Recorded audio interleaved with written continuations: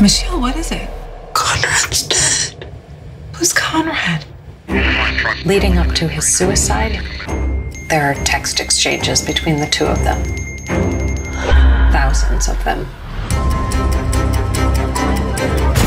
What motive could she possibly have for telling him to kill himself?